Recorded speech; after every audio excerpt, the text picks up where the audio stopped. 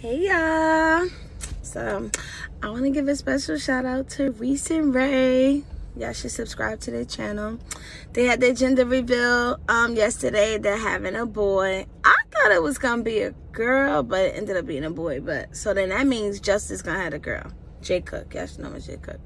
So um they're YouTubers and I watch a few couples. They're one of the couples that I like. So congratulations to Reece and Ray.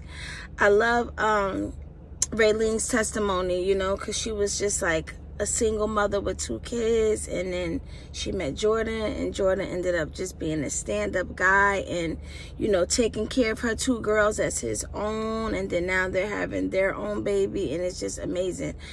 And I love their story because it shows how God works you don't have to ever worrying about being by yourself or settling. You wait for the right time. She worked a nine to five.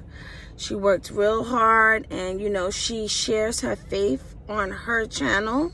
She has, it's two channels. It's the family channel and then she has one by herself.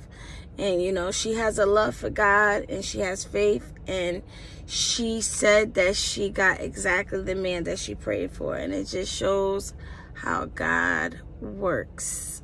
It don't matter if you have kids already. It don't matter. The right guy that God sends you to come along is going to take care of all of that. And you'll never have to worry about that. But anyway, shout out to Reece and Ray and congratulations on one of your subscribers. And I am so happy for you guys.